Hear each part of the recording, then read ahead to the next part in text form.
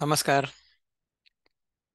आपण गेल्या आठवड्यात अर्जुनाचे काही प्रश्न बघितले होते आणि कृष्णाची त्याला उत्तरं बघितली होती. आपण सहाव्या अध्यायात मध्ये आहोत अजूनही. सहाव्या अध्यायात ध्यानयोग किंवा राजयोग या विषयावर चिंतन सुरू आहे. तर मागच्या वेळेस मी दुसरं कम्प्युटर वापरत होतो. त्यामुळे किशोरजींचे जे श्लोक आहेत ट्रान्सलेशन ते आपण बघून होतो शकलो. तर आता आज आपण बघूया. तर तेहतीस चौतीस पस्तीस छत्तीस असे चार श्लोक आपण बघितले होते. तर मी ह्या दोन्हींचं जे किशोरजींचं ट्रान्सलेशन आहे ते पहिले आत्ता म्हणतो. मग त्याच्या पुढे जाऊ आपण. ठीक आहे?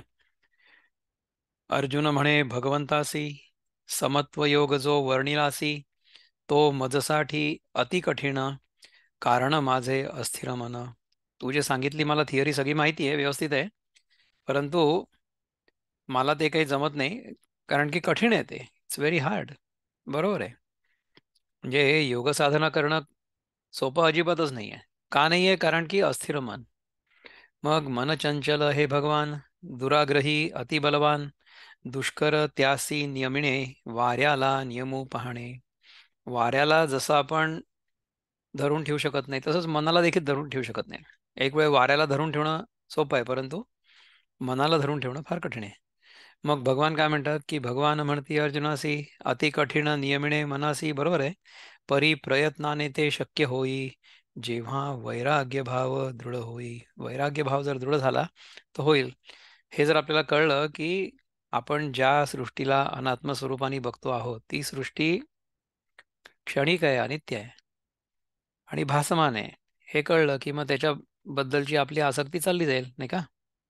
ज्यांचे मन नसे नियंत्रित त्यासी योग न होई प्राप्त.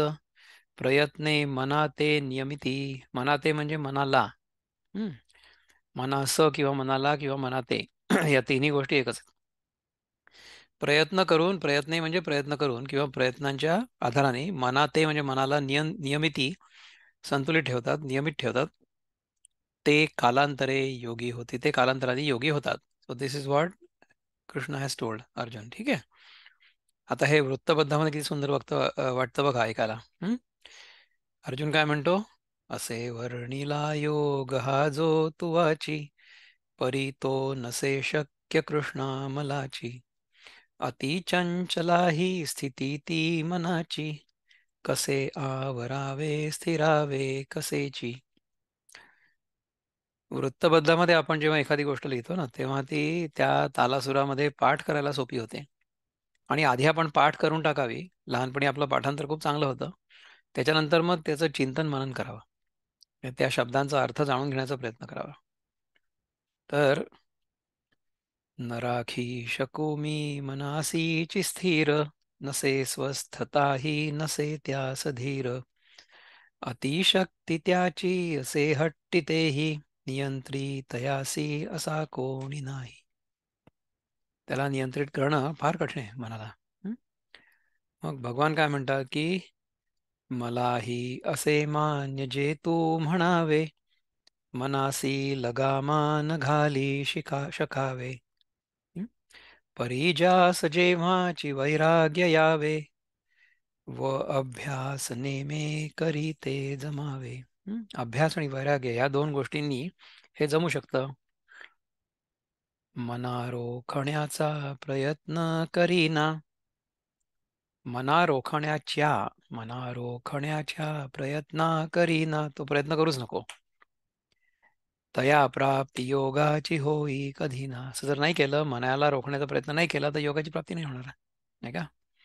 परी जो करी यत्न ऐसेची पार्थ असे योग प्राप्ती तया सी खचित असे जो यत्न करील असा जो प्रयत्न करील त्याला योगप्राप्ती खचितच होईल असं त्यांना सांगतात भगवान. आता ह्याच्या पुढचे जे श्लोक आहेत सदतीस अडतीस वगैरे जे काही होतील ते आपण आज करूया. तर सदतीसमध्ये आता पहा भगवान काय म्हणतात? आपण ती स्क्रीन शेअर करू. पहिले आपण प्रभुपाद काय म्हणतात बघू विनोबा काय म्हणतात बघू त्यानुसार मग आपण पुढे जाऊया. ठीक आहे? तर संस्कृत मधला जो श्लोक आहे तो आपण बोलू पहिले. सदतीसावा. अर्जुन उवाच. अयति श्रद्धयोपेतो योगाचलितमानसः अप्राप्य योग संसिद्धिम काम गतिम कृष्ण गच्छती। आता काय कळलं आपल्याला संस्कृत? इंग्रजीमध्ये काय म्हणतात त्याला बा? Arjun said O Krishna what is the destination of the unsuccessful transcendentalist हा जो ट्रान्सेंडेंटलिस्ट आहे म्हणजे जो कृष्ण कॉन्शियसनेसमध्ये जाऊ बघतोय तो कुठे जाणार? Who in the beginning takes the process of self realization तो आधी सेल्फ रिअलायझेशनच्या प्रोसेसमध्ये जातो. With faith but who later desist due to worldly mindedness and thus does not attain perfection in mysticism आधी आपण मार उत्साहाने हे सगळं सुरू केलं. पण नंतर मग असं लक्षात आलं की हे कठीण आहे. मग आपण ते सोडून दिलं. मग काय होईल? मग काही फायदा नाही होणार ना की होईल? बघू आता विचारू. श्रद्धा श्रद्धा श्रद्धा आहे नव्हे यत्न. योगा तो निचळू निजो. मुकला योग सिद्धीस जाय कोण्या गती सदा. कोण्या कोण्या गतीस तो पाहिजे. ते श्रद्धा आहे नव्हे यत्न. म्हणजे श्रद्धा आहे पण यत्न नाही जमलं नाही. त्यामुळे मग योगभ्रष्ट झाला. योगातून खाली पडला. मग काय? मग मुकला योग सिद्धी सम योगाची सिद्धी झालीच नाही. मग काय? मग आता कुठल्या गतीत जाईल तो? असं काय करायचं आता? नाव व्हॉट टू डू किशोरजी काय म्हणतात बघा? किंवा आपण हे दोन्ही श्लोक एकत्रच बघूया का? म्हणजे I think that will be easier if we just look at both the shloka together दोन्ही कारण की तो कंटिन्युअसच आहे ना प्रश्न? भगवंत कृष्ण अर्जुन विचारतोय भगवंताला की एक सेकंड मी पुन्हा चुकीचं घेतलं बरं का. Let me go back to विनोबांची Gita Gita ही मराठी अर्जुन काय म्हणाला की श्रद्धा आहे नवे यत्न योगा तू निचळू निजो मुकला योग सिद्धीस जाय कोण्या गती तो. काय तो उभय भ्रष्ट ब्रह्ममार्गी भुलुनिया नाश पावे निराधार फुटलेल्या ढगापरी. हे तिन्ही प्रश्नच आहे म्हणजे हा पूर्ण प्रश्न जो आहे आपण पूर्ण प्रश्न एकत्र घेऊया. माझा संशय हा कृष्णा तू फेडी तुची फेडी मुळातुनी फेडी लसा तुझा कोणी नदीसे तुझ्या विणा. आता पहा की श्रद्धा आहे आणि यत्न नाही आहे म्हणून योगातून चढला तो मुकला योग सिद्धीस. मग तो कुठल्या गतीला जाईल? काय तो उभयभ्रष्ट ब्रह्ममार्गी भुलून या. म्हणजे हा जो योगामध्येही पुढे नाही गेला आणि जगामध्ये पुढे नाही गेला ब्रह्ममार्गामध्ये तो भुलून गेला. म्हणजे तिथे चुकला तो. मग त्याच्यामुळे काय होईल की नाश पावे निराधार फुटलेल्या ढगापरी. जसा ढग फुटतो आणि नाश पावतो तसंच त्याचं सगळं जो प्रयत्न असेल जे काही आत्तापर्यंत तरी केलं ते सगळं वाया जाईल ना? मग हा माझा संशय कोण फेडेल तुझ्या व्यतिरिक्त? असं अर्जुन विचारतोय. ठीक आहे ना? लेट अस सी की हे आपल्याला प्रभुपाद काय म्हणतात? कच्चिन्नो भय विभ्रष्ट छिन्नाभ्रवि वनश्यती. अप्रतिष्ठो महाभाव महाबाहो विमूढो ब्रह्मणपथी याचा अर्थ आपल्याला अजिबात कळत नाही ओ माहिती आम Krishna does not such a man who is bewildered from the path of transcendence fall away from both spiritual and material success and perish like a riven cloud with no position in any sphere मग एतन मे संशयम कृष्ण छेतुमर्हस्य शेत शतः त्वदन्यः संशयस्यास्य छेत्ता न युपपद्यते मग this is my doubt O Krishna and I ask you to dispel it completely but for you no one is to be found who can destroy this doubt तुझ्या व्यतिरिक्त मला हे निसंशय कोण सांगू शकतं? असा प्रश्न आहे अर्जुनाचा.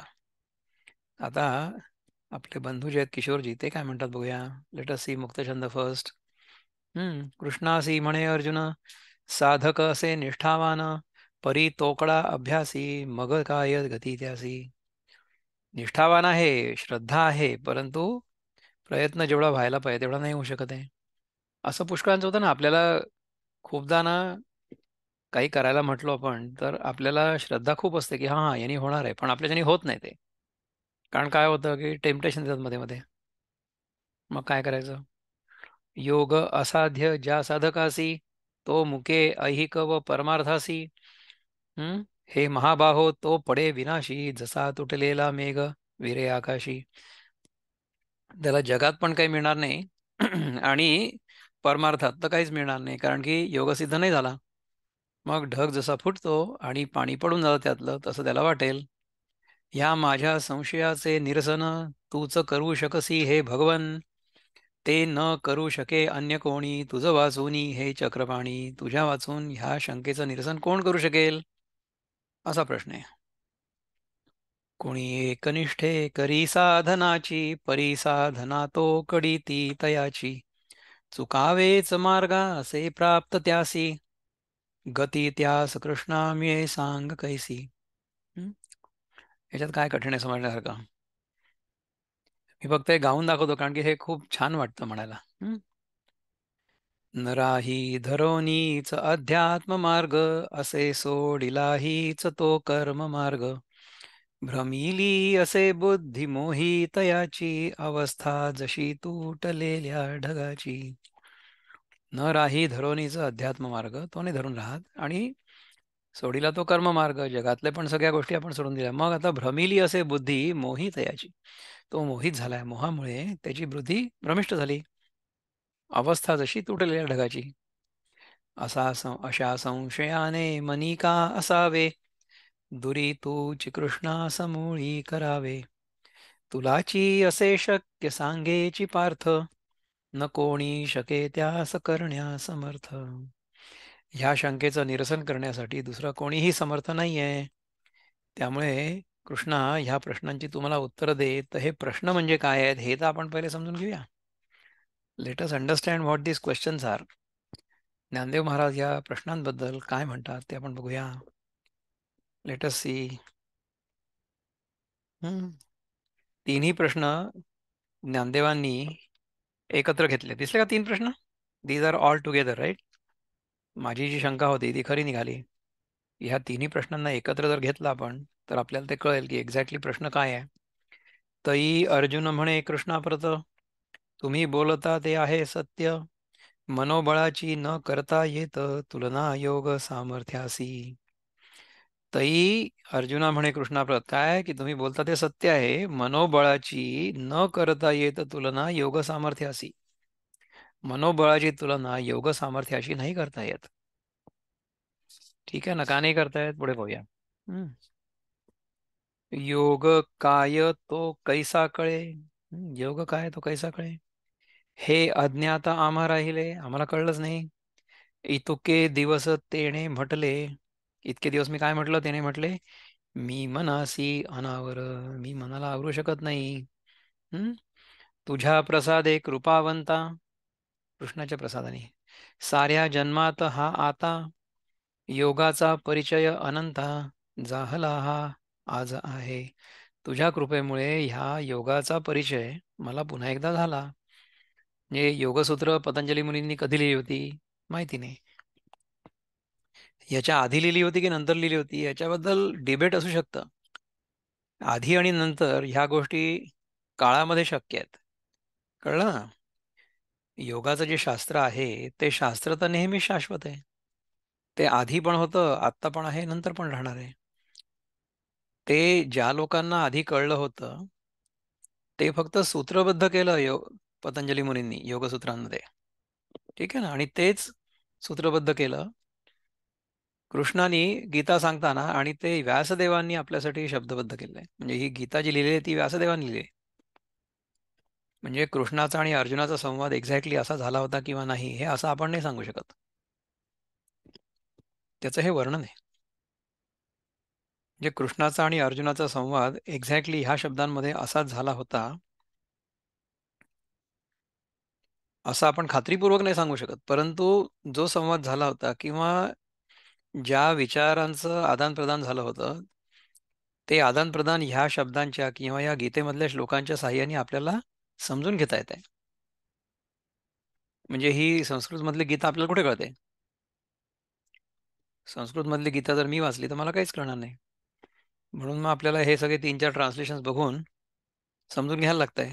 आणि समजून घेऊन त्याप्रमाणे जर आपलं आचरण असलं त्याप्रमाणे आपलं जर चिंतन असलं तर मग ते समजायला सोपं पडतं. किंवा ते खरंच समजतं. असं होतं. नाही तर आपण मग नुसतीच गीता वाचली श्लोक म्हटले तर श्लोक पाठ होऊन जातील. मला पण होते लहानपणी. पण त्याचा अर्थ काय? माहीत नाही. आता अर्थ समजून घ्यायचा प्रयत्न करतोय आपण. So that this will go deep into our system seep into our life and it will manifest in our every day life असं होईल. म्हणून ह्या तुझ्या कृपा प्रसादांनी मला योगमार्ग काय आहे कळला आज भगवंता? महाराज आणि कपरी एक संशय माझ्या अंतरी तो फेडावया श्रीहरी समर्थ अन्य असे कोणी. तरी सुद्धा आणिक एक माझ्या अंतरी एक आणि महाराज आणिक परी परी म्हणजे परंतु. एक संशय माझ्या अंतरी माझ्या मनात एक संशय आहे. कुठला तो फेडावया श्रीहरी? तो फेडण्यासाठी हे श्रीहरी समर्थ अन्य कोणी नसे. तुझ्या इतकं समर्थ कोणीच नाही कारण की सगळ्या प्रश्नांची उत्तर आहे तुझ्याकडे आहे ना? तर देवा योग्य मार्गाविण केवळ श्रद्धा मनी धरून पाहत होता एक कवण मोक्षपदासी मिळवाया. एक कोणीतरी असा होता की जो योग्य मार्गाविण केवळ श्रद्धा मनी धरून मोक्ष मिळवायसाठी प्रयत्न करत होता. कोणीतरी एक होता. पाहत होता एक कवण. म्हणजे कोणीतरी एक असा. कवण म्हणजे कोण? कोणी? तो इंद्रियरूपी गावातून इंद्रियरूपी गावातून म्हणजे देहातून. निघाला आस्थेच्या मार्गाने. ठीक आहे त्याला कळलं की हे सगळं ठीक आहे हे सगळं बरोबर आहे तर ह्याच्या मार्गाने आपण जायला पाहिजे. या आस्थेने तो निघाला. काय? पुढे पोहोचावया लागुनी आत्मसिद्धीच्या नगरासी. म्हणजे पहिले आपण इंद्रियरूपी गावातनं म्हणजे आपल्या शरीरातून निघालो आणि आत्मसिद्धीच्या नगरासी आत्मसिद्धीच्या शहरात आपण निघालेलो आहोत. आस्थेच्या मार्गाने. तुम्हाला आता आपण कधी वाटेने जातो ना भारतात. आता तरी जी पी एस वगैरे आलं त्यामुळे ठीक आहे. परंतु आधी कसं व्हायचं की हे नसताना आपण कुठेतरी थांबायचो मग कोणाला तरी विचारायचो. म्हणजे अगदी खेडेगावात सुद्धा एखाद्या लहान मुलाला विचारतो वगैरे ह्या गावातलं जे देऊळ आहे ते कुठे आहे? तर तो ज्या मार्गाने सांगेल त्या मार्गाने आपण श्रद्धेने आस्थेने जातो ना. की ते खरं असेल असं गृहित धरून. दुसरी एक गोष्ट तुम्हाला ह्याच्या आधी सांगितली होती की समजा रात्रीच्या वेळेस एखाद्या गल्लीमध्ये एखादा संशयित व्यक्ती आला किंवा चोरच समजा तर तिथला जो कुत्रा असतो तो भुंकतो. आणि मग त्या कुत्र्याचं भुंकणं ऐकून पलीकडच्या गल्लीतले त्याच्या पलीकडच्या गल्लीतले असे कुत्रे भुंकत जातात आणि पूर्ण मोहल्ल्यातले कुत्रे भुंकतात. तर जो शेवटचा कुत्रा आहे त्यांनी तर काहीच पाहिलेलं नसतं. तरी सुद्धा तो ह्या कुत्र्यावर त्या कुत्र्यावर त्या कुत्र्यावर श्रद्धा ठेवून आणि मग बाकी सगळ्या लोकांना तो सावधान करतो की काहीतरी गडबड आहे. दया कुछ तो गडबड आहे तर जर एका कुत्र्याची दुसऱ्या कुत्र्यावर एवढी श्रद्धा असेल तर आपली ज्ञानदेव महाराजांवर का असायला नको? विचार करा थोडासा. त्यामुळे जे ज्ञानदेव महाराजांनी सांगितलेलं आहे ते खरं आहे. असं आपण गृहित धरून समजा पुढे गेलो तर मग तू पुढे ते सत्य आहे ह्याची प्रतीत येईल. ते आपल्याला आतून कळेल. प्रतीती की प्रचिती? प्रचिती येईल. अनुभव येईल. नाही का? तर जो इंद्रिय रूप गावातून निघालेला निघाला आहे आस्थेच्या मार्गाने की ह्या मार्गाने जर आपण गेलो तर आपण आत्ता सध्या जो स्वतःला देह समजतो आहोत कारण की आपण या इंद्रियरूपी गावामध्ये आहोत छोट्याशा पाच इंद्रियांचं गाव पण आपण शहरात जाणार आहोत. शहर कुठलं आहे? अहम ब्रह्मास्मी. सर्वम खलविदम ब्रह्म. असं आहे. हे सगळं जे आहे ते सगळं एकाच तत्वाचा विस्तार आहे. ह्या शहरात आपण जाणार आहे. रूपक म्हणून सांगितलंय. आपण कुठे जात नाही कुठे येत नाही. किती वेळा सांगितलंय? आठवत ना? ना तो आत्मसिद्धीशी न पोचला आणि परत न येववे त्याला. तो आत्मसिद्धीला न पोचला आणि परत न ये येववे त्याला. कारण मध्येच मावळला आयुष्याच्या आयुष्याचा सूर्योदयाचा आता मध्येच समजा आपण हे सगळं केलं आणि हे करता करता मोक्षप्राप्ती तर झाली नाही. जगातलं आपण सगळं सोडून दिलं आणि आपण मध्येच मरून गेलो. मग काय झालं की जगात पण काही नाही मिळालं आणि मोक्ष पण नाही मिळाला. मग आता काय करायचं? किती व्हॅलिड आहे बघा व्हेरी म्हणजे प्रश्न अगदी योग्य आहे. सगळ्यांच्या मनात येतो. मग आतापर्यंत आपण जे काही केलं ते वाया गेलं का? जैसे आकाशी अवेळे विरळ थोडे ढग जमले ते न टिकून राहिले वा न करीती वर्षाव. तो ढग फुटून गेला म्हणजे त्याचं पाणी नाही झालं पाऊस नाही पडला. जस्ट डिसअपिअर झाला डिसिपेट झाला. असं झालं. तुम्ही बघा की कधी कधी ना आपण हे विमानाच्या मागचं जे असतं ना असं ढग सारखं निघतं बाहेर. ते म्हणजे काय वाफ असते त्या इंजिनातली. तर ती थोडे थोड्या वेळेत ते सगळं दिसतं असं. आणि नंतर मग ते विरून जातं. तसं समजा आपलं झालं तर काय करायचं? असं होऊ शकतं ना. त्यामुळे काय झालं की त्या ढगांमुळे ना पाऊस नाही पडला ते विरून गेले ढग. They simply disappeared they disappeared in thin air विरून गेले. पाऊस नाही पडला. तैसी दोन्ही ही दुरावली. दोन्ही दुरावली. कुठली? आत्मप्राप्ती नसे झाली आणि श्रद्धेमुळे न राहिली निराशा आत्मप्राप्तीची. तैसी दोन्हीही दुरावली. आपल्याला जगात काही करता नाही आलं आणि मोक्षप्राप्ती पण नाही झाली. ऐसे दोन्ही सिही मुकला परी श्रद्धा ठेवून मेला. आता सांगावे तयाला गती कोणती प्राप्त होते? आतापर्यंत आपण म्हटलं ना की एक जन्म झाला हा देह सोडला माझा दुसऱ्या देहामध्ये गेलो आपण मग दुसऱ्या जन्मामध्ये आपल्याला काय होईल? मग ते सगळं विसरून जाऊ का आपण? आधी जे गेलो ते असा प्रश्न आहे. तर आपण ह्या प्रश्नाचं जे उत्तर आहे ना ते आपण उत्तर पहिले सुरू करू. पहिले भगवंत काय म्हणतात ते बघू. आणि मग नंतर आपण ह्याच्यावर थोडीशी चर्चा करू ठीक आहे? So let me get started with the answer ही श्रीकृष्ण काय म्हणतात? कारण की हे प्रश्न तर आपल्याला कळले. आता प्रश्नांबद्दल काही डाऊट आहे का कोणाला? एनिबडी हॅज एनी डाऊट की प्रश्न काय विचारलाय? प्रश्न काय विचारला हे पण तर माहिती पाहिजे ना? नाही तर मग उत्तर काय आहे ते कळणार नाही आपल्याला. प्रश्न सांगा काय? प्रश्न हा आहे की समजा आत्ता आपण योगमार्ग करतो म्हटलं पण योगमार्ग पूर्ण सिद्ध नाही झाला. खूप प्रयत्न केला आपण. श्रद्धेने आपण गेलो खरे योगमार्गावर पण ते सगळं होण्यापूर्वी आपण मरून गेलो. मग आता काय करायचं? What to do next let us see what Bhagwan says will see what Prabhupada says first ठीक आहे? श्री भगवान वाच पार्थ नैवेह नामुत्र विनाशस्तस्य विद्यते. न हि कल्याणकृत् कश्चित् दुर्गतिं तात गच्छति The Supreme Personality of Godhead says, O son of Prutha, a transcendentalist engaged in auspicious activities does not meet with destruction either in this world or in the spiritual world. One who does good, my friend, is never overcome by evil. तुम्ही समजा पुण्य केलं तर ते पुण्य तुमच्या पदरासोबत राहिलंच. त्याला काही प्रॉब्लेम नाही आहे करून ठेवा. हां तर ह्याच्यामध्ये विनोबा काय म्हणतात बघा? न ह्या लोकी न त्या लोकी नाशतो पावतो कधी? शुभकारी कुणी बापा दुर्गती सन जातसे. न ह्या लोकी ना त्या न ह्या लोकी न त्या लोकी. नाशतो पावतो कधी? शुभकारी कुणी बापा? दुर्गती सन जातसे शुभकारी म्हणजे जो शुभ कार्य करतो तो पुण्य कार्य करतो तो दुर्गतीस न जात असे. तो दुर्गतीला नाही जाऊ शकत. ठीक आहे ना? तर ह्याच्यासाठी आपले बंधू किशोर कुलकर्णी काय म्हणतात बघूया. Let us see in first will see मुक्त छंद भगवान म्हणती अर्जुनासी जो मनुष्य कांक्षी योगासी न मुके इहलोक परलोकासी स्वहितवांची न जाई दुर्गतीसी. अरे बापरे इतकं न मुके इहलोक परलोकासी स्वहित स्वहितवांची न जाई दुर्गतीसी. भगवान काय म्हणते अर्जुनासी? जो मनुष्य कांक्षी योगासी तो मुके इहलोक न मुके इहलोक म्हणजे तो इहलोकाला पण मुकत नाही परलोकासी स्वहितवांची तो परलोकामध्ये स्वहितवांची म्हणजे त्याला स्वहित स्वहिताची इच्छा होते. न जाई दुर्गतीशी. त्याला इहलोकामध्ये पण चांगलं होतं. परलोकामध्ये पण चांग चांगलं होतं. परलोकामध्ये जेव्हा मेल्यानंतर आपण स्वर्गात जातो असं म्हणतात ना परलोकात जातो. परलोकात जात नाही वगैरे आपल्याला माहिती आहे राईट एनिवे आता हे ज्यांना मी काय म्हणजे काय होत आहे माहिती आहे का? हे सगळं फ्लॅशबॅक सारखं सुरू आहे माझ्यासाठी.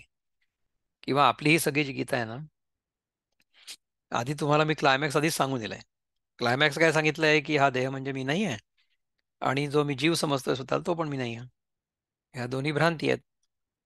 त्यामुळे आता ही जी सगळी गोष्ट आहे ना ही सगळी गोष्ट इज लाईक ए फ्लॅशबॅक कारण की ह्या सगळ्या मनस्थितींमधनं आपण जात असतो पुढे पुढे. ठीक आहे? ह्याच्यामध्ये कृष्ण काय म्हणतो बघा? असे योग प्राप्तीची इच्छा जयासी न कोण्याही लोकी असे नाश त्यासी. असावी हिताचीच इच्छा हि त्यास कधी दुर्गती नाही भावी तयास.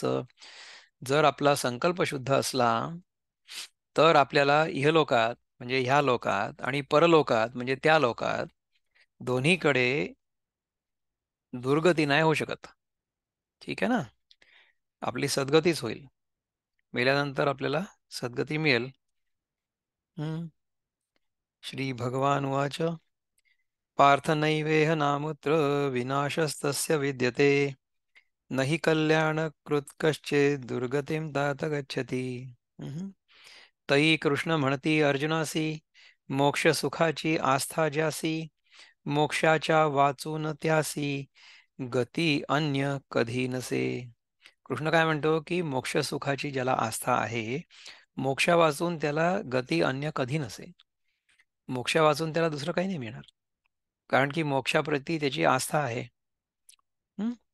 परी एवढे एक होते की मध्ये थांबावे लागते परी तेही सुखद ठरते जे सुख नाही देवाही. परी एवढं एक होतं. काय होतं की मध्ये जर थांबावं लागलं तर तेही सुखद ठरतं. जे सुख नाही देवाही देवांना पण ते सुख नाही आहे कारण की देवांना फक्त सुखाचा भोग करता येतो परंतु कर्म करण्याचं स्वातंत्र्य नाही आहे म्हणजे तुम्ही बघा की जर मी स्वतःच्या जीवनाचा विचार केला म्हणजे संपूर्णपणे लहानपणापासून ते आत्तापर्यंत तर आत्तापर्यंत मी असं खात्रीपूर्वक सांगू शकतो की माझ्या जीवनामध्ये दुःखाचे प्रसंग फार कमी आले.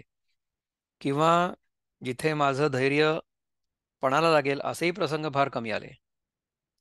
माझ्या जीवनामध्ये सुखाचे प्रसंग जास्त आले. आणि आत्ताचा जो जन्म आहे त्या जन्मामध्ये जी साधना मागच्या जन्मी पूर्ण झाली नसेल ती पूर्ण करण्याची पूर्ण संधी मला मिळाली आणि त्याच्यासाठी अनुकूल परिस्थिती मिळाली. म्हणजे काय आहे की आपले जे भौतिक नियम नियम म्हणण्यापेक्षा भौतिक आपल्या ज्या गरजा आहेत त्या भौतिक गरजा सहज पूर्ण झाल्या. अन्न वस्त्र निवारा आरोग्य आणि शिक्षण ह्या पाचही गोष्टी पूर्ण झाल्या. त्याच्यामध्ये म्हणजे अन्न जे हवं ते उपलब्ध आहे. जे आवडतं ते उपलब्ध आहे. वस्त्र जे आवडतं ते उपलब्ध आहे. निवारा म्हणजे घर जितकं चांगलं कोणी इमॅजिन करू शकेल ज्याची कल्पना करू शकेल तितकं चांगलं घर आहे. घर आणि दार म्हणजे पत्नी जेवढी चांगली आपण विचार करू आणि कल्पनेपेक्षाही चांगली. आपली जी कल्पना असेल की कोणीतरी मिळावी आणि आपण तिच्याकडे न बघता लग्न करावं आणि नंतर ती एकदम देवी निघावी असं झालं. अन्न वस्त्र निवारा हे सगळं झालं. नंतर आरोग्य. ह्या क्षणी आरोग्य जितकं चांगलं असू शकतं एखाद्या व्यक्तीचं तितकं चांगलं आहे. आणि शिक्षण. आता ह्या जगामध्ये पी एच डीच्या वरची डिग्री नाही आहे तर तेही झालेलं आहे. म्हणजे काय आहे की ह्या पाचही गोष्टी पूर्ण झाल्या ह्याचा अर्थ काय आहे की आपण आणि पुन्हा कर्म करण्याचं स्वातंत्र्य आहे. म्हणजे विचार करा की देवांना पण अशा प्रकारची नाही मिळत परिस्थिती नाही का? अशा प्रकारचं भाग्य कोणाला मिळतं? तर स्वर्गामध्ये जे काही मिळत असेल सुख त्याच्यापेक्षाही जास्त सुख आणि जास्त कर्म करण्याचं स्वातंत्र्य पण आहे ना. म्हणजे are we not at a better situation in a better situation नाही का? ॲट अ बेटर प्लेस नाही का? स्वर्गापेक्षाही चांगलं येतं तर हे जर कळलं आपल्याला तर काय झालं की ठीक आहे. म्हणजे काय झालं? मोक्ष मागच्या जन्मी नाही मिळाला. म्हणून हा देह घ्यावा लागला. म्हणजे काय झालं की देर वॉज अ ब्रेक पण दॅट ब्रेक इज ब्युटिफुल है ना? म्हणजे काय की परी एवढे एक होते की मध्ये थांबावे लागते. म्हणजे मध्ये थांबावं लागलं? हा देह घ्यावा लागला पुन्हा. राईट परी तेही सुखद ठरते. सुखद म्हणजे सुखदच तर आहे नाही का? जे सुख नाही देवाही. जे सुख नाही देवाही. म्हणजे आपण जे लोक इथे सध्या आहेत हे सगळं चिंतन ऐकतायत त्या सगळ्यांनी जर तुमच्या जीवनाची गोळाबेरीज केली तर तुम्हाला असं लक्षात येईल की आत्ता तुम्ही ज्या क्षणी जिथे आहात तिथे तुम्ही देवांपेक्षाही चांगल्या परिस्थितीमध्ये आहात. आणि तुम्हाला हे सगळं शिकण्याची करण्याची ऐकण्याची आणि पाळण्याची प्रेरणा आतून होते आहे. हे किती महाभाग्य आहे आपलं. विचार करा. ओव्हरऑल जर तुम्ही विचार केला ना तर तुमचं जीवन जे आहे ते सर्वसाधारण लोकांपेक्षा शतपटींनी अधिक चांगलं आहे. आहे खरं. अभ्यासाची पावले त्याने टाकिली असती त्वरेने तरी येण्यापूर्वी मरणे पोचता ब्रह्मपदासी. अभ्यासाची पावले टाकली होती आपण त्वरेने टाकली होती परंतु ते पूर्ण प्राप्त होण्यापूर्वी मरण आलं तर काय करायचं? मग पुढच्या वेळेस आपण जिथे आलो तिथे आपल्याला जास्त चांगलं वाटतंय. तिथून आपल्याला पुढे जाणं जास्त सोपं आहे. किंवा आता ह्याच्यानंतर पुढे म्हणजे ह्याच्यानंतर परत यायचंच नाही इकडे. ह्या जन्मी आपल्याला हे सगळं समजून घेणं आवश्यक आहे. आणि हे जर समजलं असेल तर आत्ता हे प्रवचन करता करता किंवा हे चिंतन करता करता समजा आपला श्वास गेला आणि आपण पुन्हा घेतला नाही तर काय? काय फरक पडतो? कारण की हा देह हा श्वास हे मन हे मी नाहीच आहे. हे तर येत जात राहणार आहे. जाऊ द्या ना. आपल्याला फक्त आपल्या स्वरूपामध्ये स्थित व्हायचंय आणि मग देह जाओ अथवा राहो पांडुरंगी दृढ भाव. असं व्हायला पाहिजे. म्हणजे त्या क्षणी मोक्ष आहे. म्हणजे काय की मी तर मुक्तच आहे. इथे ना कोणी मोक्ष आहे ना कोणी साधक आहे. आठवत आहे तुम्हाला? न निरोधो न च उत्पत्ती न बद्धो न च साधका. न मुक्ता न मोक्षुर्वै इत्तेशा परमार्थता आहे. तो मी आहे. आणि तेच तू देखील आहेस. दॅट यू आर तत्वमसी. हे अगदी पक्क समजलं पाहिजे. समजलं पाहिजे नाही तशी निष्ठा पण पाहिजे आणि त्याची जाणीव व्हायला पाहिजे सारखी की मी म्हणजे हा देह नाही आहे मी म्हणजे जो स्वतःला वेगळा जीव समजतो तो नाही आहे अशा प्रकारे जर आपली निष्ठा असली आणि अशा प्रकारे जर आपल्याला आतून अनुभव झालेला असला ना तर जीवन खूप सहज होतं. There is such an ease in life की तुम्ही जो कुठला तुमचा रोल असेल तर तुम्ही चांगलं छान वठवता. आणि त्याचं टेन्शन नाही घेत. होतं. परी तितुका वेग न राहिला म्हणून विसावा घेणे पडला. आधीचा वेग पूर्ण नाही राहिला. विसावा घ्यावाच लागला. मग काय? पुढे मोक्ष तो आहे ठेविला.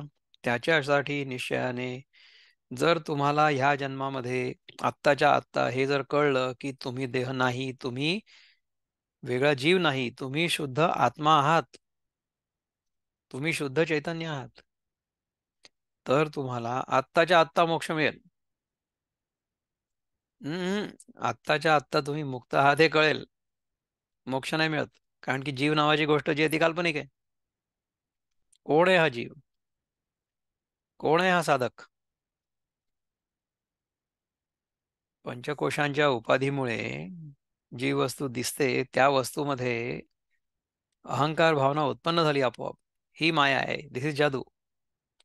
मी स्वतः स्वतःला वेगळा समजतो आणि करता समजतो ही जादू आहे. That is maya. तर हे खरं नाहीये हे कळणं हेच फक्त आपल्याला करायचे साधना कशासाठी साठी करायची माहिती आहे का? साधना माया माया आहे हे कळण्यासाठी करायची साधना. मायेच्याच उपायांनी मायेच्या सहाय्याने माया मायारूप आहे मिथ्या आहे हे कळणं किंवा हे कळण्यासाठी प्रयत्न करतं ह्याला साधना म्हणतात. म्हणजे काय की साधनेची लीला सुरू आहे. लीलारूप साधक लीलारूप साधना करतोय आणि त्याला लीलारूप मोक्ष मिळतोय.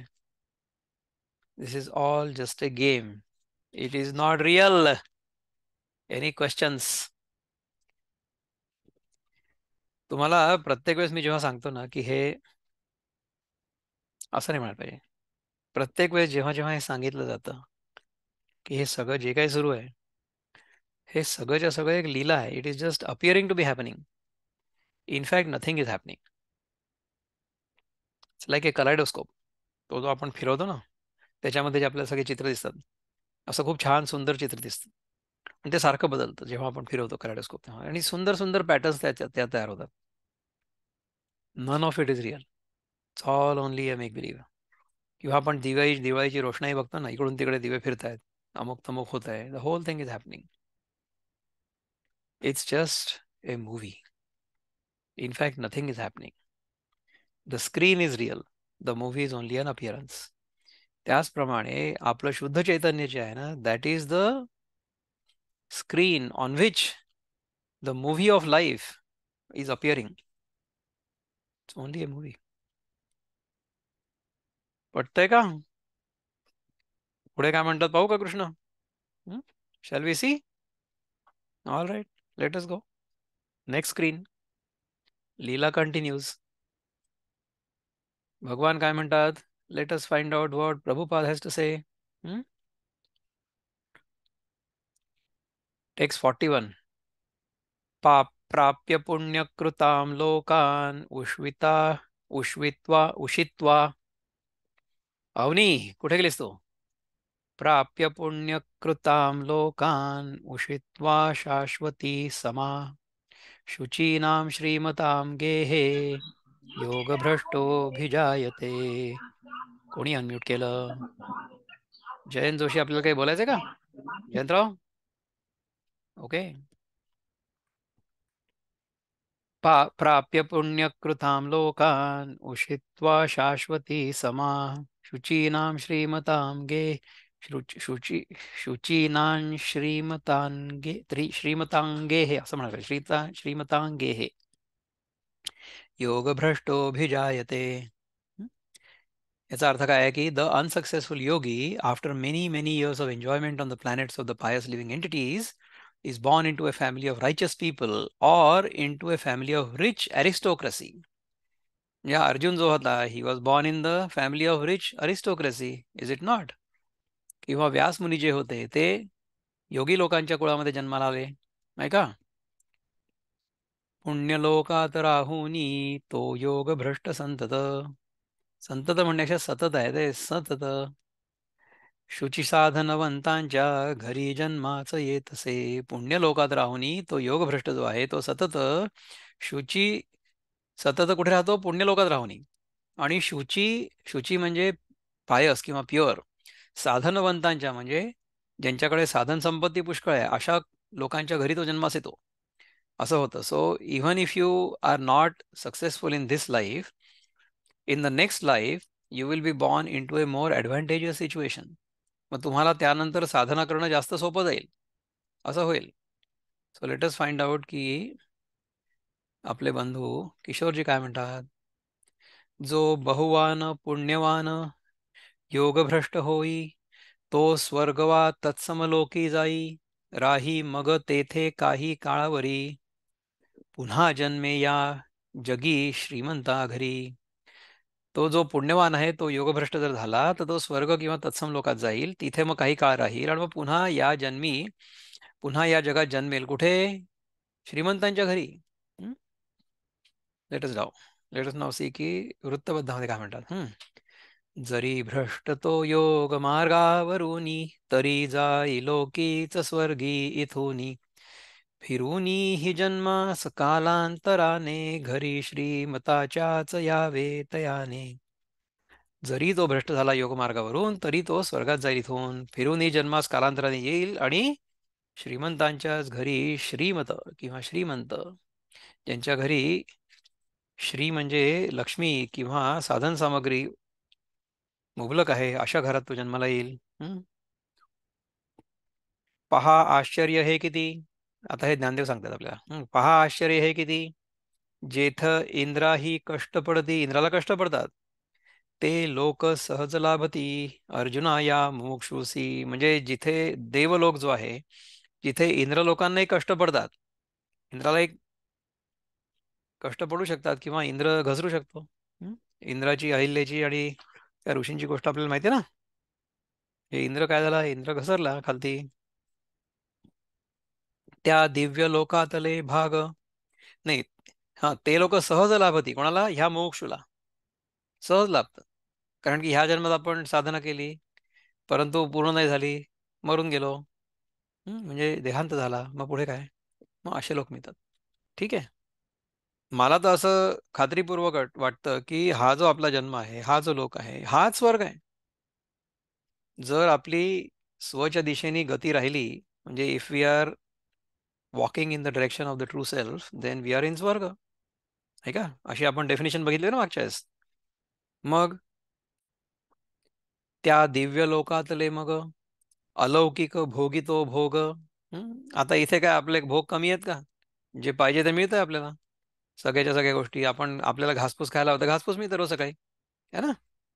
एकदाच खायला हवं तर एकदाच मिळतं. मिळतं शंभर वेळा पण आपण खातो एकदाच. कारण की आपल्याला कळलेलं आहे की ते शंभर वेळा खाऊन आपल्यासाठी उपयोगाचं नाही आहे इनफॅक्ट जास्त वेळा खाऊन आपल्यासाठी हानिकारक आहे हे लक्षात आलं आहे. ठीक आहे ना? परी वैराग्य याचे अव्यंग म्हणू नये त्या कंटाळा. त्या दिव्य लोकातले मग अलौकिक भोगितो भोग परी वैराग्य याचे अव्यंग म्हणून नये त्या कंटाळा. म्हणजे काय की आपल्यासमोर ट्रक भरून अन्न ठेवलेलं आहे परंतु आपण प्लेट भरूनच खाणार आहे. कळलं? आपल्याकडे पोहायला सहाशे फूट खोल तलाव आहे परंतु आपण सहा फुटामध्येच पोहणार आहे. आपल्या पोटातली जागा किती आहे तर माहिती पाहिजे ना? तेवढंच तर खाऊ शकतो आपण एका वेळेस. ठीक आहे ना? पण नंतर ते बसून पचवा. मग खा दुसऱ्या दिवशी. जेव्हा केव्हा तुम्हाला भूक लागेल तेव्हा. नाही का? मग काय होईल की वैराग्य असल्यामुळे त्याचा कंटाळा येईल. आणि कंटाळा डिप्रेशनमुळे नाही आहे वैराग्यामुळे. विथ अंडरस्टँडिंग विथ विजडम की नाही नाही नाही ही गोष्ट जी आहे ही भासमान आहे. आणि हिच्यामध्ये आपण जितकं गुंतू तितकी आपल्याला ही धरून ठेवेल. हं, ध्यायतो विषयान पुंसा संगस्तेषु उपजायते आठवतं तुम्हाला? विषयांचे करी ध्यान त्यास तो संग लागला. You will get attach to it संघातून फुटे काम क्रोध कामात ठेविला. कामना आणि क्रोध. हे दोन जर आपण विषयांचं ध्यान केलं म्हणजे अनात्म स्वरूपाला सत्य मानलं आणि त्याच्यामागे जर गेलो तर हे सगळं होणारच आहे. तसं नाही करायचं आपल्याला. बिकॉज वी हॅव अंडरस्टूड आठवड्यातनं दोन दोन वेळा आपल्याला हॅमरिंग होतात. ट्वाईस अ वीक त्यामुळे हा जर विषय आपल्याला नाही कळला काय होईल? आपण अडकून राहू याच्यामध्ये. Will keep going round and round and round संसार संसरती इति संसार म्हणजे it keeps on going it goes in cycles त्याला म्हणतात संसार हम्म. ते सद्गुरू आहेत सद्गुरू जग्गी वासुदेव ते याचं संसारी माणसाचं डेफिनेशन संसारी there was a young man was going was was you know had a nice job and everything. and uh, then he thought that he would get married so he wanted to find then he was walking on the road and then he saw some sari एक मुलगी चालली होती साडी घालून and then he ran after her such a person is samsari hmm? running after the things of the world samsari काहीही सांगतात कसं सुचतं डोक्यात है ना संसारी रनिंग आफ्टर संसारी डोंट रन मग काय होतं? कंटाळा येतो. जगातल्या कुठल्याही गोष्टीचा ना आपल्याला कंटाळा येतो. यायलाच पाहिजे. येतोच. कारण की एकतर ती गोष्ट राहणार नाही. नाहीतर त्या गोष्टीचा आनंद उपभोगण्याची आपली क्षमता राहणार नाही. म्हणजे अगदी साधं सांगतो साधं म्हणजे साधं. आज रोजच्या जेवणाची तुम्हाला म्हणजे जेवणाची उपमा देतो. म्हणजे जेवणातला उपमा नाही. उपमा तर खायचाच नाही. खा म्हणजे कधी कधी पण इट्स ओके जेवणातलं उदाहरण हे आहे की कसं आहे समजा आपण आपल्याला भूक लागलेली असली आणि अन्नही खूप चांगलं असलं. तर समजा आपल्याकडे मला पुरणपोळ्या आवडतात. ठीक आहे तर पुरणपोळी. तर पुरणपोळी पहिली खाल्ली खूप छान वाटलं. दुसरी खाल्ली तरी चांगलं वाटलं. तिसरी खाल्ली तर थोडं कमी चांगलं वाटलं. चौथी खाल्ली आणखीन कमी चांगलं वाटलं. पाचवी खाल्ली तर मग आता असं वाटतं नाही आता पुरे. तरी समजा खात राहिलं तर काय झालं? समजा दहा पुरणपोळ्या खाल्ल्या तर काय दहाच्या दहाही पूर्ण उलट्या होती असं होईल. म्हणजे ज्या गोष्टीतून सुख आहे असं वाटत होतं ती गोष्ट जर आपण करत राहिलो तर त्याच गोष्टीमुळे दुःख होत. हे जगातल्या सगळ्याच गोष्टींबद्दल लागू आहे. विचार करून बघा कुठलीही गोष्ट. ती गोष्ट जर तुम्ही सारखी सारखी करत राहिला तर तुम्हाला त्याचा कंटाळा येणारच आहे. तुम्ही या संसाराचा कंटाळा का नाही येत? कारण की it is going on and on and on on कारण की त्याचं जे आकर्षण आहे ना ते खूप जास्त प्रबल आहे. आपल्या डोक्यावर आपल्या मनावर त्याचा खूप जास्त पकड आहे. त्याच्यामुळे समजा असं जर झालं तर काय होईल? आपण यात अडकून राहू. ह्या येतो विषाणपूमचा संघच ते शुभ आहे त्याचं होईल संघ होईल. हा. पण भगवंता हा अडथळा माझ्या मार्गी कसा आला? ऐसा अनुताप चित्ताला त्याच्या वाटे दिव्यलोकी भगवंता हा अडथळा माझ्या मार्गी कसा आला? असा अनुताप चित्ताला. म्हणजे अशी सारखी मनाला बोच असते. त्याच्या वाटे दिव्यलोकी तो दिव्यलोकात जरी असला तरी सुद्धा त्याला असं वाटतं की हा अनुताप माझ्या मनाला कसा माझ्या वाटेत कसा आला? माझ्या मार्गी कसा आला? मग सर्व धर्मांचे माहेर पुण्यस्थल असे थोर त्या ठाई तो नंतर येतो पहा जन्माला. मग काय की सर्व धर्मांचं माहेर जे आहे असं जे पुण्यस्थळ असेल. म्हणजे काय? की आपण हिंदू धर्मामध्ये जन्माला आलो. सनातन धर्मामध्ये जन्माला आलो. जिथे आपल्याला ह्या गीतेबद्दल वेदांबद्दल उपनिषद उपनिषदांबद्दल आंतरिक किंवा स्वाभाविक ओढ आहे. हे आपलं भाग्य आहे. समजा आपला जन्म आणखीन दुसऱ्या कुठल्या धर्मात झाला असता किंवा दुसऱ्या कुठल्या घरात झाला असता तर तसं नाही झालं का नाही झालं? कारण की आपली पूर्वजन्माची पुण्याई म्हणून आपला जन्म इथे झाला. आणि आपल्याला हा विषय शिकण्याची इच्छा उत्पन्न झाली. म्हणजे आपण अशा परिस्थितीमध्ये जन्माला आलो की त्या परिस्थितीमध्ये आपल्याला हे सहजच व्हायला लागलं. आपण सत्वचा कार्यक्रम जॉईन केला आहार शुद्धी केली त्याच्यामुळे देहशुद्धी झाली त्याच्यामुळे मग आता चित्तशुद्धी झाली आणि मग चित्तशुद्ध चित्तामध्ये आपल्याला या सगळ्या गोष्टी समजायला लागल्या. ही? भगवंताची कृपा आहे ना? नाही का? तर अशा म्हणजे आता काय झालं की तुमचा आधी कुठे जिथे जन्म होता? आधी कुठल्या गावात असेल? पुण्याला असेल नागपूरला असेल मुंबईला असेल नंतर मग तुमचा जन्म पुन्हा झाला. कुठे झाला? सत्वमध्ये. सत्व नावाच्या गावात. है ना? आता ह्या जन्माला ह्या गावामध्ये आपण जन्माला आलो म्हणजे काय आहे की हे पुण्यस्थळ आहे. ह्या पुण्यस्थळामध्ये आता आपण ह्याच्या पुढे जाणार आहे. अशा पुण्यस्थळामध्ये आपण जन्माला आलो आपल्या पुण्यामुळे नाही का? वा ऐश्वर्य लक्ष्मीच्या आगरात रोप होऊन जन्मा येत. जन्म घेई त्या वंशात जेथे चालती नीतीने म्हणजे जिथे नीतीने चालणारे लोक आहे अशा वंशामध्ये तू जन्माला येशील. ऐश्वर लक्ष्मीच्या आगरात म्हणजे the warehouse or godown or the store house of Aishwar Lakshmi. ऐश्वर लक्ष्मीकडलं जे पॅन्ट्री असेल ती कशी असेल विचार करा बरं तुम्ही. त्याच्यामध्ये काय काय असतील? Ingredients all kinds of wonderful things will be there with which you can make your swayampak isn't it तर अशा वंशामध्ये तुमचा जन्म होईल जेथे चालती नीतीने किंवा ऐश्वर्य लक्ष्मीच्या आग्रात रोप घेऊन जन्म घेत. अशी तुमची परिस्थिती होईल देवाच्या कृपेने हा. ज्या कुलातले भाषण असं ते सत्यासी धरून आणि सर्वही वर्तन होते शास्त्राच्या आधारे ज्या कुलातलं भाषण असतं सत्यासी धरून आणि सर्वही वर्तन होतं शास्त्राच्या आधारे. तर याच्या आधी मी तुम्हाला कदाचित सांगितलं असेल पण माझे जे दोन्ही आजोबा होते ना त्यांचा माझ्या जीवनावर खूप पगडा आहे. आणि त्यांच्याकडनं मला खूप प्रेरणा मिळाली. माझे जे वडिलांचे वडील होते ते म्हणजे खरेच स्थितप्रज्ञ होते. आणि स्थितप्रज्ञेचं काय भाषा आहे जी अठरा श्लोकांमधली जी लक्षणं आहेत ना ती सगळी त्यांच्या ठाई होती. त्यामुळे त्यांच्याकडनं मला ते कळलं. आणि माझे जे दुसरे आजोबा होते आईचे वडील ते उत्तम लेखक होते उत्तम वक्ते होते. तर त्यांच्याकडनं मला लिहिण्याची आणि बोलण्याची कला प्राप्त झाली. आता ह्या दोन आजोबांच्या पोटी त्यांच्या कुळात किंवा त्यांच्या घरामध्ये मी जन्माला येणं ह्याच्यासाठी मी काय केलं असेल? काहीतरी साधना केली असेल ना मागच्या जन्मी? म्हणून अशा प्रकारचे दोघं जण मला प्राप्त झाले. एका आजीला मी बघितलंच नाही. दुसरी आजी होती ती माझ्या वयाच्या नवव्या वर्षापर्यंत आठव्या वर्षापर्यंत होती. तिची मला चांगली आठवण आहे. तर त्यांनी जे काही संस्कार केले आमच्या आईवडिलांवर आणि मग त्या आमच्या आईवडिलांनी आमच्यावर जे काही संस्कार केले ते. त्याच्यामुळे जे आहे ते आहे. जे होत आहे ते होत आहे. नाही का? असं होतं. तर मग हे जर आपण सगळं बघितलं याचा आढावा घेतला एकदा तर आपल्याला असं लक्षात येईल की हे जे वर्णन चाललंय ना हे सगळं आपलंच आहे.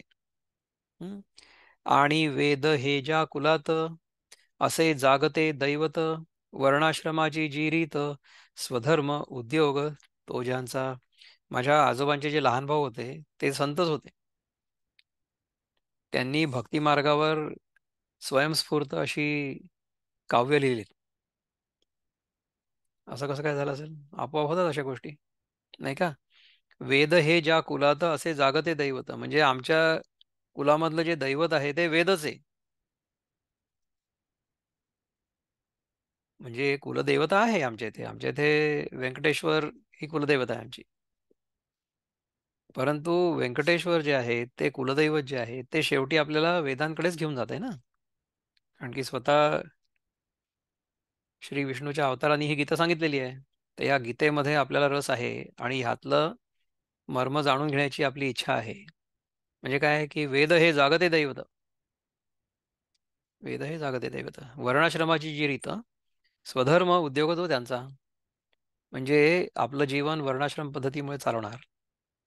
आणि स्वधर्म हाच उद्योग आहे. जे काही आपण करतो आहोत ते स्वधर्मानुसार आहे किंवा नाही हे बघायला पाहिजे.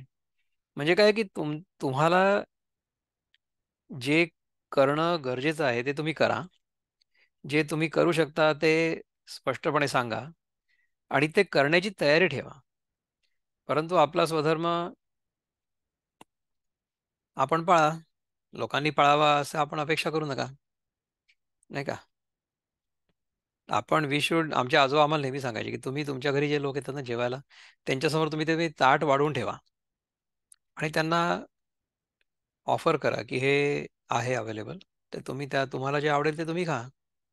परंतु तुम्ही ते सगळं आग्रह करून त्यांच्या घशात कोंबू नका. म्हणजे काय की आपल्याकडे हे गीतेचं ताट वाढून ठेवलेलं आहे. आपण ह्या गीतेचं ऑफरिंग अर्पण करतो आहे. सगळ्यांना जे लोक इथे आहेत या खोलीमध्ये त्यांना. आता त्याच्यापैकी किती घ्यावं त्यांनी? हे त्यांच्या ॲपेटाईटवर अवलंबून आहे ना. ते किती खाऊ शकतात किती पचवू शकतात हे प्रत्येकावर अवलंबून आहे. असं झालं पाहिजे नाही का? विवेक सार आसाराचा हा मंत्री जया कुळाचा समुदाय सिद्धींचा गृहदेवता झाला जिथे विवेक सार असाराचा. म्हणजे सार आणि असार ह्या दोन मधलं जे डिस्क्रिमिनेशन आहे सार म्हणजे जे ग्रहण करायला पाहिजे ते आणि असार म्हणजे जे फेकून द्यायला पाहिजे ते. आपलं शरीर हा सार आणि असाराचा विवेक दर क्षणी करत असतं. आपण जे काही खातो त्यातनं जे सार असतं म्हणजे जे ॲब्झॉर्ब करून घेण्यासारखी गोष्ट असते ती गोष्ट शरीर ॲब्झॉर्ब करतं आपोआप हा निसर्गाचा नियम आहे. आणि जे फेकून द्यायची गरज आहे ते फेकून देतं शरीर आपोआप. हा पण निसर्गाचा नियम आहे. है ना? विवेक हा मंत्री ज्या कुळाचा. Discrimination is the minister in that particular family समुदाय सिद्धींचा गृहदेवता झाला. हे समृद्धीचा समुदाय सिद्धींचा म्हणजे सिद्धी आपल्याला प्राप्त आहेत ते त्यांचा समुदाय आहे. अशा जागी हा गृहदेवता झाला. बघा. He became the head of the house where all of these things are available आणि चिंता ज्या कुलातली ईश्वराची पवित्रता झाली म्हणजे ज्यांना नाही उरली ओढ ईश्वराविण दुजी ज्या कुळातली चिंता ईश्वराची पतिव्र पवित्रता नाही पतिव्रता झाली. आपल्या मनातली जी चिंता आहे ना ती चिंता ईश्वराची पतिव्रता झाली. म्हणजे काय की ईश्वरा व्यतिरिक्त तिला दुसरं काही नाहीच आहे. म्हणजे आपल्या मनात चिंता कशाची आहे? की ईश्वर प्राप्ती कशी होईल? ही चिंता आहे. म्हणजे आपली चिंता ईश्वराची पतिव्रता झाली. नाही का? She is desiring only her husband पतिव्रता म्हणजे काय की जी पती विचार पतीशिवाय दुसऱ्या कुठल्याही पुरुषाचा विचार नाही करत.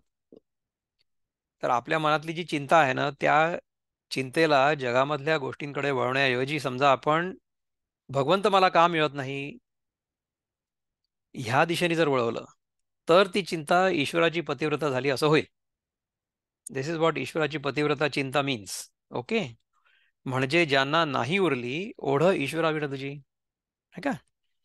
ऐसा पुण्याच्या बळावर जेथे सुखरूप व्यवहार त्या कुळामध्ये थोर योगभ्रष्ट जन्म घेई. ऐसा पुण्याच्या बळावर जिथे सुखरूप व्यवहार ज्या कुळामध्ये थोर होतो अशा योगा अशा कुळामध्ये योगभ्रष्ट जन्म घेई. म्हणजे काय की योग मार्गावर चालत होता परंतु घसरला कुठेतरी किंवा तो पूर्ण होण्यापूर्वी सिद्धी प्राप्त होण्यापूर्वी समजा मृत्यू झाला म्हणजे देहांत झाला. तर अशा प्रकारच्या कुळामध्ये तो योगी पुन्हा एकदा जन्म घेईल अशी कहाणी आहे. आणि मग त्याला कळेल की ह्याच्या पुढे जाण्यासाठी काय करायला पाहिजे? काय करायला पाहिजे? अभ्यास आणि वैराग्य. ह्या दोन गोष्टींच्या आधाराने जर आपण पुढे गेलो तर आपल्याला सद्गती मिळेल. आणि समजा कळलं आपल्याला की इथे न निरोधो न च उत्पत्ती न बद्धो न च साधका न मुक्ता न तेषा परमार्थता. हे कळायला पाहिजे. This is the punch line this is the final experience त्याच्या आधी आपण हे जे करतोय ते सगळं फ्लॅशबॅक तसे आपण पुष्कळशे श्लोक घेतले आता आणि ओव्या पण घेतल्या दांदेवांचा तर सांगा की याच्याबद्दल काही आपल्याला प्रश्न आहेत का? एनी क्वेश्चन्स कॉमेंट्स काही चिंतन करायचंय कोणाला? आत्तापर्यंत जे सांगितलं ते कळलं का? याच्या पलीकडचा श्लोक आपण पुढच्याच घेऊ आता. आत्ता आपण जेवढे श्लोक बघितले तेवढंच थोडंसं चिंतन करू. समजा काही प्रश्न असले तर आपण घेऊ.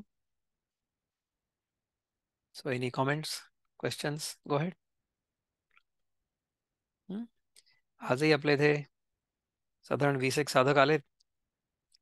आपण सगळे लोक आला तिथे एक तास आपला माझ्यासोबत आनंदाने घालवला. मला पण खूप समाधान आहे आनंद आहे. तसेच येत जा नियमितपणे. गीतेचं चिंतन करत राहा. आणि त्याप्रमाणे आपलं जीवन चालवण्याचा प्रयत्न करा अशी प्रार्थना करून आत्तापुरता मी आपल्या वाणीला विराम देतो. नमस्कार.